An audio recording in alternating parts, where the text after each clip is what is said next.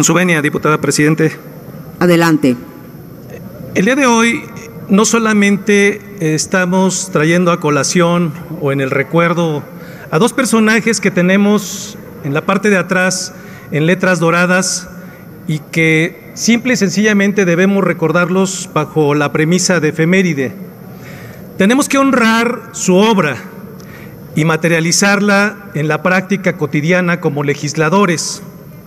Francisco y Madero, no me queda la menor duda, y creo que a ninguno de los que estamos aquí nos queda la menor duda, que es el demócrata más importante que hemos tenido en la historia de nuestro país, por la trascendencia de los hechos y de las circunstancias que así lo obligaron a participar en ese periodo convulsionado que llamamos la revolución. Y de alguna manera también hay que decir que en ese cambio transformador que se dio, la etiqueta de Francisco y Madero fue en el ámbito de un personaje que podemos también etiquetar como aspiracionista, un hombre de clase media acomodada que renunció a llevar una vida cómoda y acudir al llamado demócrata de nuestro país. Ese es el personaje que hoy estamos recordando. Un hombre que además puso sobre la mesa que para conseguir una transición ordenada en la democracia que se estaba instaurando en nuestro país, habría que ir a dialogar, a convivir, acuerdos mínimos que pudieran dar tránsito a una fortalecida nación, cosa que renunciaron muchos grupos y que trajeron como consecuencia su muerte. Me resalta indiscutiblemente el personaje de Belisario Domínguez porque hay tres cosas importantes que yo quisiera resaltar también de él.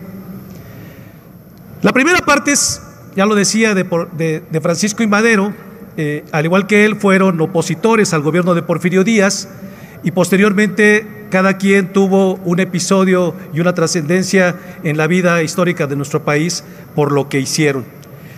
Pero Belisario Domínguez, al igual que Francisco y Madero, aspiracionista también de una familia acomodada, Siempre mantuvo su vocación de estar cerca de los que más necesitaban, médico, cirujano y partero. Lo llevaron posteriormente en esa profesión a ser presidente municipal de Comitán, Chiapas, y que a la postre lo catapultarían a la legislación donde tuvo un escaño como senador. Pero yo decía al principio, hay tres cosas importantes que hay que eh, rescatar y no olvidarnos de su vida en la historia del país. La primera, puso el punto sobre la CIS y dijo algo así como, tenemos como legisladores que asumir nuestro papel de contrapeso histórico en esto que llamamos la división de poderes. Este es un llamado para que nosotros nos demos cuenta de la trascendencia, el poder que tenemos como legisladores y hacia dónde podemos llevar nuestro desempeño como tal al dejar claro que este poder, el legislativo, es un contrapeso necesario para la nación. Su historia, su vocación, lo llevó a incomodar, pero ¿qué más da si esa es la vocación de este poder, diferenciarse de los otros dos? Y eso es algo que no debemos dejar pasar. En esa parte importante y en esa vocación, él transmitió en ese discurso trágico acerca de los resultados que había dado el gobierno de Huerta y que a la postre llevaron a su ejecución, a su muerte, porque incomodaban al poder. Pero diría algo adicional. Número dos, siempre resaltó el respeto a la libertad de expresión. Instó a los periodistas de ese entonces a manifestar con su pluma su vocación crítica hacia el gobierno en turno. Y eso es algo que no debemos renunciar que suceda. Nos guste o no nos guste, ahí hay que respetar ese ámbito de la competencia de quienes hoy tienen una pluma. Podrán tener la verdad o no absoluta de lo que dicen, pero no podemos nosotros renunciar a proteger la libertad de expresión que merecen en este país. Y esa fue una de sus luchas. Hoy tenemos endeble un mecanismo de protección para periodistas en el país, un fideicomiso que no sabemos en dónde va a aparecer ese recurso que les va a dar la protección y siguen muriendo en nuestro país muchos periodistas.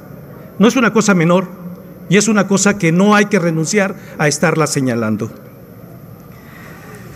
Pero me parece que la parte importante que podemos señalar es que en su vocación aspiracionista fue un hombre de ciencia.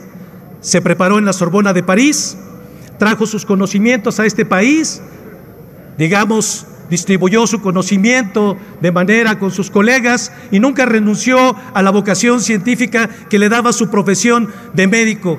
Un hombre humanista, demócrata, legislador, y que desde este espacio legislativo supo poner en alto el trabajo, el desempeño, la tarea de honrar esta investidura que hoy tenemos cada uno de nosotros y que debemos de defender y principalmente como un contrapeso necesario para los otros poderes. Y esa tarea, ese trabajo, ese honrar, no podemos olvidarlo ni dejarlo pasar. Es cuanto, Presidenta. Muchas gracias, diputado Rodríguez Carrillo. Tiene la